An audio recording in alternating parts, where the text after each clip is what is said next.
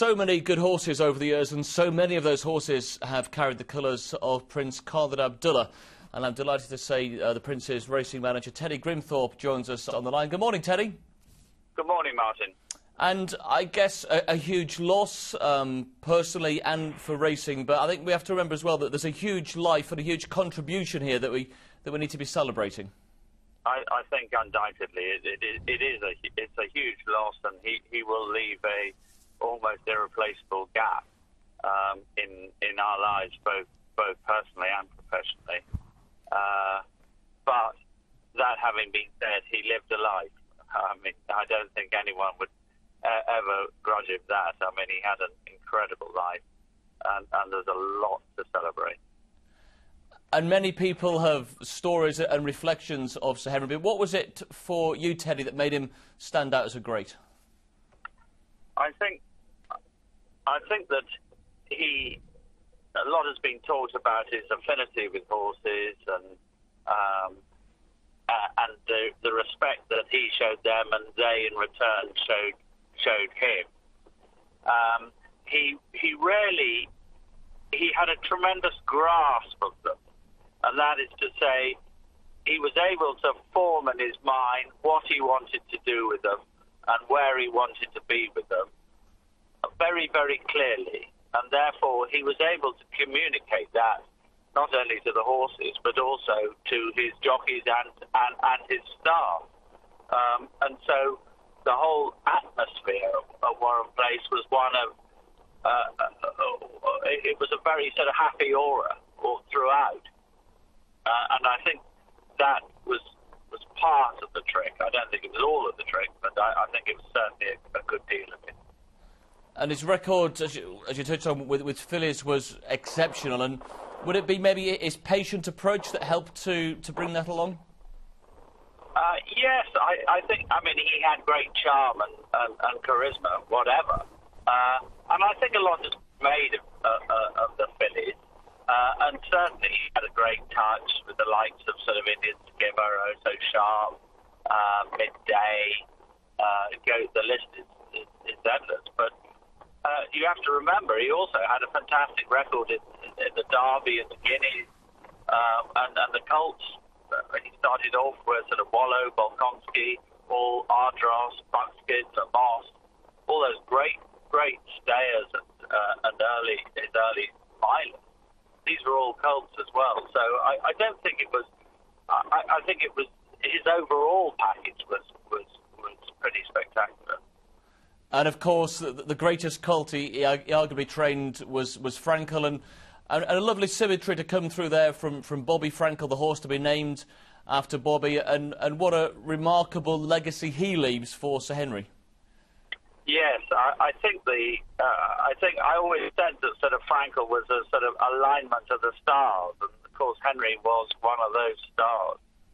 Um, and of course we had uh, Prince Khalid had a very close relationship with Bobby Frankel, uh, and he was responsible for uh, really nearly 20 years uh, of, of training some some of our, our, our best horses in the state.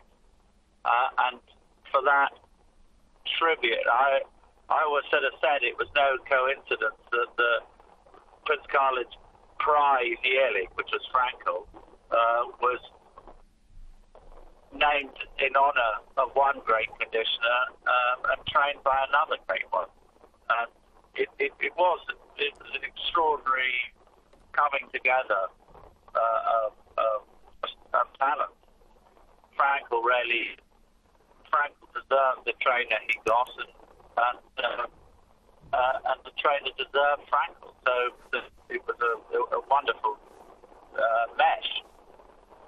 And Henry was always very adamant that the horse, in terms of Frankel, would tell him where to go next. There was all sorts of morons in the media, myself probably included, banging on about him going a mile and a half and doing this and that. But he had very much his own plan, and in the end, it was a plan executed to perfection to remain unbeaten in 14 starts. Yeah, I think that I, I think the the real sort of important part again, as I, Henry had a very clear idea of what he wanted to do and where he where he wanted to be, and I think uh, to bring Frankel to the races 14 times and produce the sort of performance he did, it, it was a it, it, it was part of it was all part of his plan, and he wouldn't have got that if you'd been running from. I don't know. We got tremendous advice to go from five furlongs to, to two miles, really. Um, uh, and and I, you certainly wouldn't have had the the finished article that you saw in, in his, in his four-year-old career as a um, and especially at Ascot and then at York and then of course again at Ascot, you you wouldn't have had those the quality of those performances if you'd been running around various other distances. I'm not saying I always thought that Frankel had no limits in the end. I think he could he would have been effective from five furlongs to a mile and a half.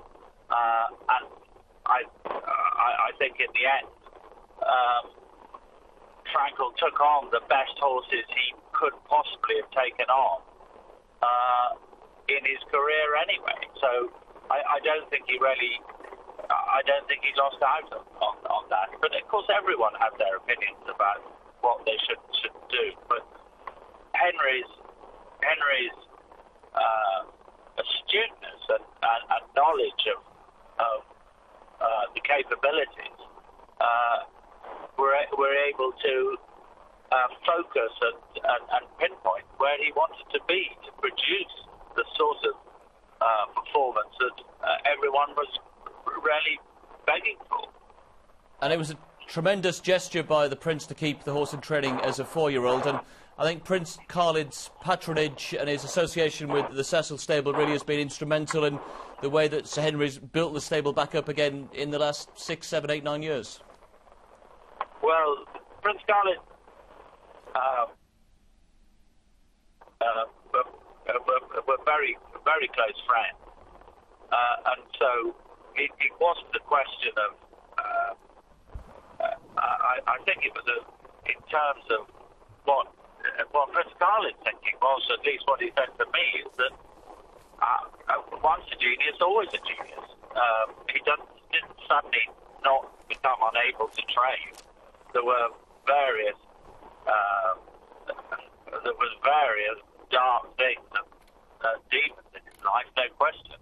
Uh, but uh, I, I think Prince Khalid always had a, a, belie- a great belief in Henry, and the beauty of it was that Henry always had a great belief. He he believed right up until his, the very his last last moment, uh, really, and, uh, and and so that that and that was something that he also transmitted to both his horses and and his staff, which is part again part of his his, his successful makeup. Well, Teddy, a very sad loss to, to racing, but so many wonderful memories to, to look back on and enjoy. Many thanks for sharing a few of those with us this morning. Not at all.